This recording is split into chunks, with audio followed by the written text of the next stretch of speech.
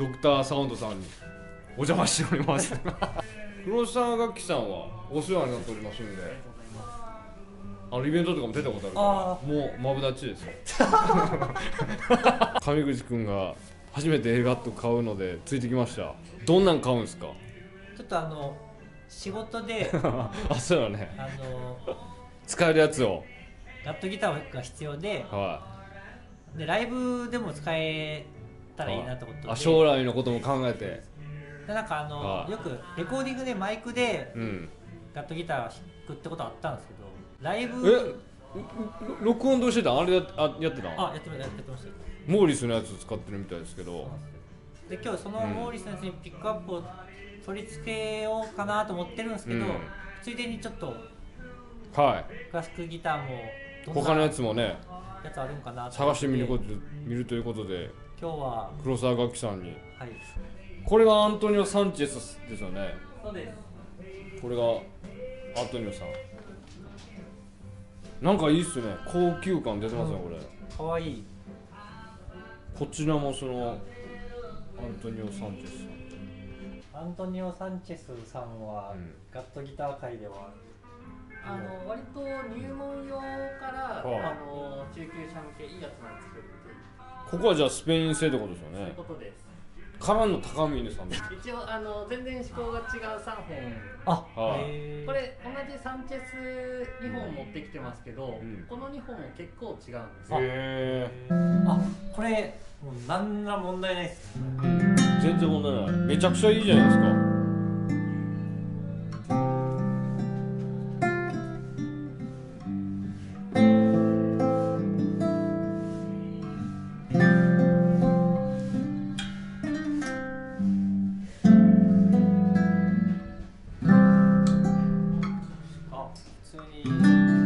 これいいね。弾きやすいし。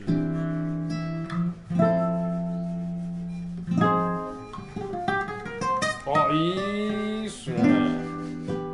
営業いけるよこれ。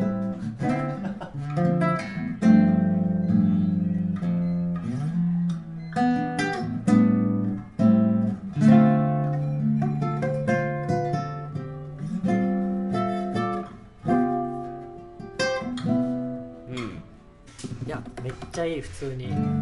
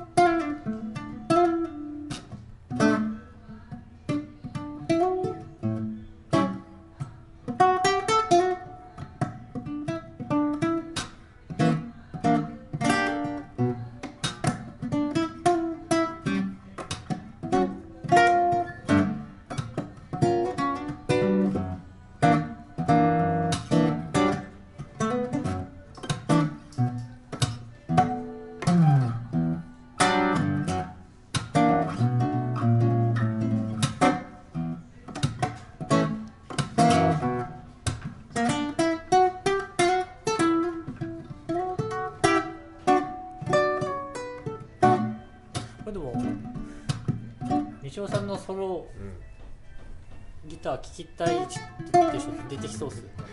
ライブでやるやんか。緊張して全然。で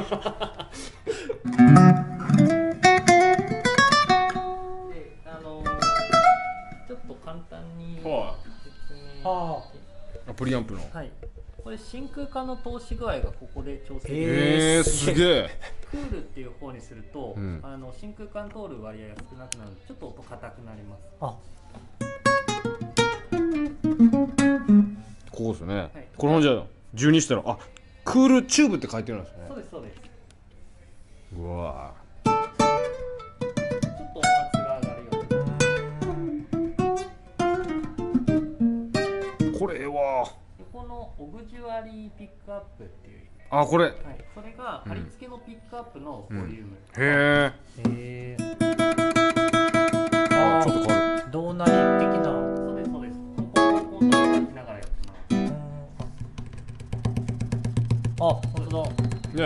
とわかりもしかしたらカメラの音声でわかるかもしれないですけど鳴ってますよねこれ。で俺のさっきのあの幻想的なパーカッション。も ね海をイメージした。えー、あでもそのつまみあるのめっちゃ便利っすね。これこれええで。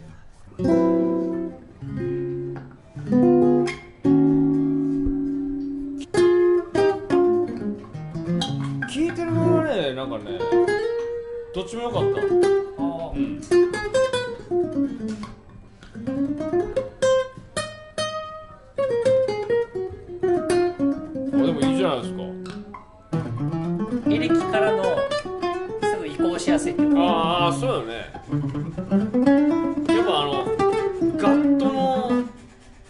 あの力を持ってるって感じですよ。あなんかあっちはなんかあの寄り添って俺ら側に寄り添って なんてやろうあでも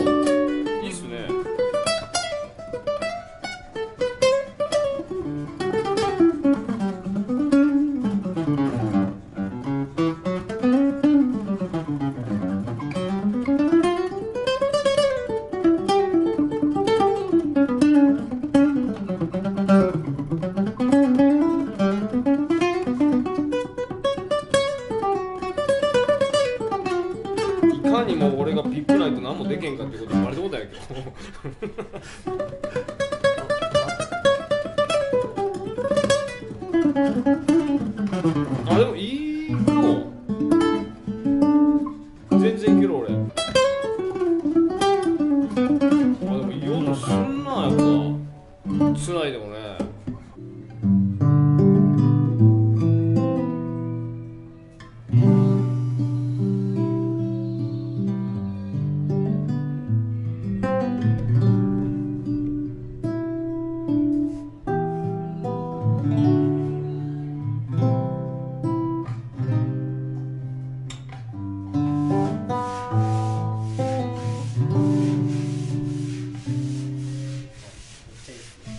なんかこんな感じ。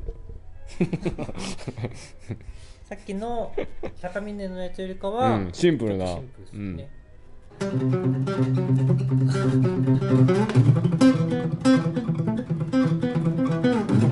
ハイフレットどうすんねんこれ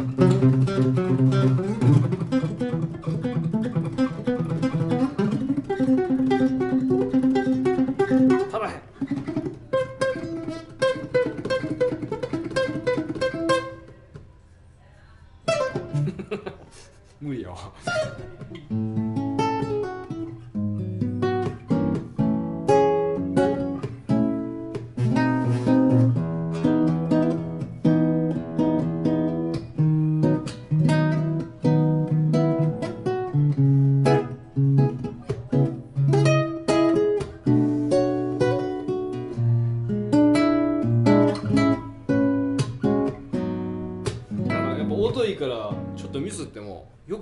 ね。上口さん。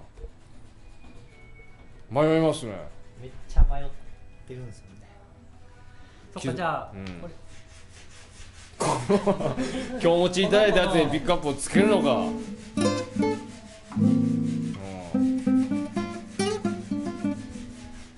うん、買っちゃうのか。上口くんが買うことを決意しました全く買うつもりなかった。よかったよねでもね。でうん。もちゃんとしたやつその今後のためにあもー持ってった方がいいんで。そうですね。上口はいろいろ現場やってますから。いやいやあの、うん。もちろん多分いいガエレガットっていっぱいあると思うんですけど、うん結構その入門あの、はい。これからエレガねット入門、初心者的にははすごく一番寄り添ってくれてる感じかなと。いいいっすね